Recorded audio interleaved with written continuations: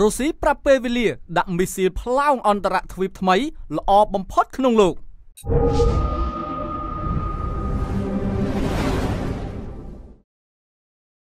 ប្រធានទីភ្នាក់ងារអវកាស Roscosmos របស់រុស្ស៊ីបាននិយាយថាទីក្រុងមូស្គូគ្រោងនឹងដាក់ពង្រាយមីស៊ីលផ្លោងអន្តរទ្វីបប្រភេទថ្មីនៅក្នុងរដូវស្លឹកឈើជ្រុះ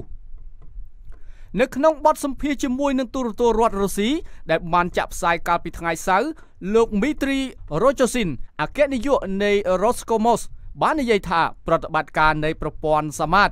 នឹងចាប់ផ្ដើមភ្លាមៗនៅពេលដែលធ្វើការតេស្តអភិវឌ្ឍការហោះហើរត្រូវបានបញ្ចប់លោកបានបន្ថែមថាប្រព័ន្ធនេះនឹងត្រូវបានដាក់ឲ្យប្រើមិនលើសពីរដូវស្លឹកឈើជ្រុះនោះឡើយ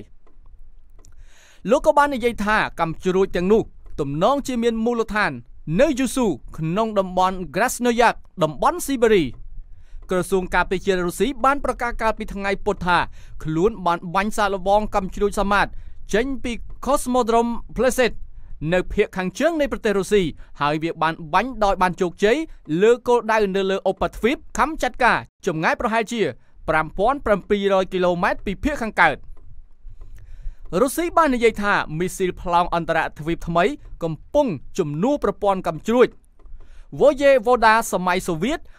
ហើយមានសមត្ថភាពអាចផ្ទុកគ្រាប់ក្បាលនុយក្លេអ៊ែរបានច្រើនប្រធានាធិបតីរុស្ស៊ីលោក Vladimir Putin បាននិយាយថាមីស៊ីលប្លង់អន្តរទ្វីបថ្មី ដែលទើបនឹងបង្កើតអាចជ្រាបចូលប្រព័ន្ធការពារកម្មជ្រួចណាមួយ ហើយនឹងធ្វើឲ្យអ្នកដែលគំរាមរុស្ស៊ីអាចផ្លាស់ប្ដូរចិត្តបានយើងក៏លេចមើលទៅឯ UN កំពុងតែបញ្ចេញចំនួនជនស៊ីវិលស្លាប់នៅក្នុងការលុកលុយរបស់រុស្ស៊ី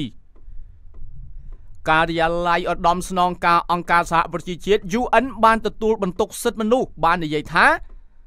គិតមកត្រឹមថ្ងៃសុក្រយ៉ាងហោចណាស់ជនស៊ីវិលចំនួន2435នាក់ត្រូវបានសម្លាប់នៅក្នុងប្រទេសអ៊ុយក្រែនចាប់តាំងពីការលុកលុយរបស់រុស្ស៊ីបានចាប់ផ្ដើមនៅថ្ងៃទី24ខែកុម្ភៈខណៈតួលេខនេះរួមមានកុមារចំនួន184នាក់ ទីភ្នាក់ងារនេះបាននិយាយថាក្នុងចំណោមអ្នកស្លាប់1423នាក់គឺស្ថិតនៅក្នុងតំបន់នៃទីក្រុងគៀវនិងទីក្រុងកាគៀវ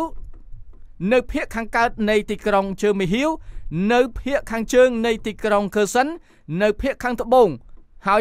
1012នាក់ត្រូវបានកត់ត្រានៅតំបន់ភូមិខាងកើតនៃសាធារណរដ្ឋដូណេត និងលូហាន់ខណៈដែលជនស៊ីវិល2946នាក់បានរងរបួស